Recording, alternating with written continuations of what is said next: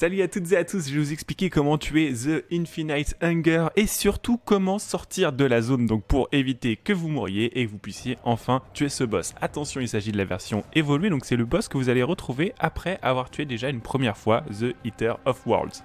Comme d'habitude, si vous n'êtes pas encore abonné, n'hésitez pas à le faire, ça permet tout simplement de soutenir la chaîne et d'avoir bien sûr nos dernières vidéos, il suffit de cliquer ici. Avant de vous expliquer donc comment sortir de la zone, je voulais quand même revenir sur les attaques du boss parce qu'il y en a deux en particulier que vous devez esquiver. Donc la première, c'est sa grosse AOE. Donc il va taper très fort sur le sol. Faites attention, vous allez probablement mourir si vous n'avez pas un build ultra tanky. Donc moi pour y résister j'ai 5500 euh, points de vie et j'avais environ 70% de euh, réduction de dégâts physiques. Donc si vous n'avez pas au moins ça, tentez pas, sortez, l'attaque est très prévisible donc il suffit de vous pousser. La seconde, qui est un peu plus technique, en fait, il va se transformer en une sorte de forme métamorphe un peu bizarre qui fait déjà extrêmement mal. Donc quand vous la voyez déjà courir, euh, notamment il peut vous surprendre si vous prenez un TP et il est en cette forme. Donc faites vraiment attention à ça parce que ça fait énormément de dégâts. Donc dès que vous la voyez, vous pensez bien à fuir. Et ce qu'il va falloir faire, c'est euh, il y a une trace au sol en fait, et donc vous l'amenez sur cette trace pour qu'il se détransforme. Sinon, la forme va durer très longtemps et euh, bah, vous allez attendre pour rien en fait. Donc pensez bien à faire ça. Quand vous voyez la forme, vous lui faites faire un petit tour pour qu'il revienne sur ses pas et ensuite se détransforme. Maintenant, pour la zone qui devrait normalement vous embêter le plus, il y a pas mal de choses à savoir. Déjà, c'est que vous allez très rapidement plus avoir d'armure ni d'évasion. Donc prêtez pas attention au buff, c'est très distrayant et ça va vous déconcentrer, enfin au debuff exactement. Vous prenez pas la tête, vous allez voir, vous allez prendre plein de stacks, on s'en fiche, c'est pas grave, y prêtez pas attention, de toute façon, vous avez pas le choix, donc concentrez-vous sur les autres choses que je vous ai indiquées et vraiment regardez pas ce debuff.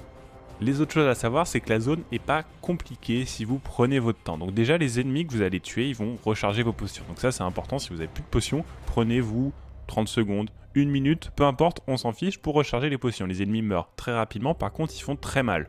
Il faut surtout pas qu'ils vous approchent tout simplement, donc vous pouvez vous déplacer, vous utilisez vos sortes de déplacements et vous tuez les ennemis avant qu'ils vous touchent. Comme ça, vous allez pouvoir rester euh, beaucoup, beaucoup de temps dans la zone, c'est pas un problème, vous pouvez rester autant de temps que vous voulez, donc vraiment, allez-y tranquillement, prenez votre temps, faites par étapes et surtout évitez de paniquer, de rusher, etc. Vous tuez les ennemis, vous avancez, vous tuez les ennemis et vous avancez. Au besoin, vous avez aussi la zone de sable pour faire une petite pause, donc vous allez être, euh, vous pouvez le déplacer euh, normalement, on va dire, mais ça va pas être très intéressant parce que notamment on va aller chercher la sortie de la carte. Donc sur la sortie de la carte, euh, il y a quelques petits trucs à savoir, c'est que déjà, elle va pas être autour d'une bordure de la carte. Donc ça, euh, le premier truc que vous faites quand vous arrivez sur cette zone, c'est vous cherchez où vous êtes. Vous pouvez être à l'est, à l'ouest, au nord, au sud, donc en bas, à gauche, à droite, euh, en haut si vous préférez. Il faut savoir où vous êtes. Donc vous allez regarder un petit peu autour de vous, chercher un bordure de carte. Ça va permettre de savoir si vous êtes à droite, à gauche, en haut ou en bas.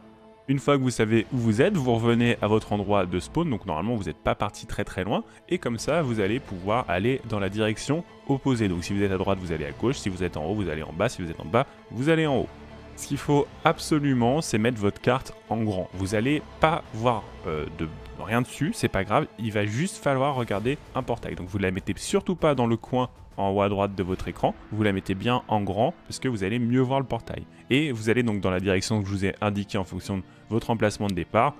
Et comme ça, dès que vous la voyez, vous pouvez vous rapprocher du portail. Encore une fois, surtout pas de précipitation parce que les monstres, eux, vont continuer de vous taper dessus. Donc lorsque vous allez cliquer sur le portail, il faut absolument que vous ayez vraiment nettoyé la zone. Donc ça arrive en vague, vous allez avoir un petit moment en fait, vous tuez les ennemis, et vous allez avoir un petit moment où dès qu'ils sont morts, vous pouvez prendre le portail, donc sauter sur l'occasion, prenez ce portail là, mais vraiment prenez votre temps. Au pire, vous pouvez rester 20-30 euh, secondes autour du portail, c'est pas un souci, vous tuez les ennemis, et quand vous vous sentez prêt, clac, vous prenez le portail, et surtout comme ça, ça va vous éviter de mourir un peu euh, de manière dommage, on va dire, alors que vous aviez trouvé le portail de la carte. J'espère donc que ce boss sera plus simple pour vous, vous pourrez comme ça progresser dans les quêtes finales de votre atlas, faites quand même attention parce qu'il a beaucoup de points de vie, donc vous aurez quand même besoin de beaucoup de dégâts.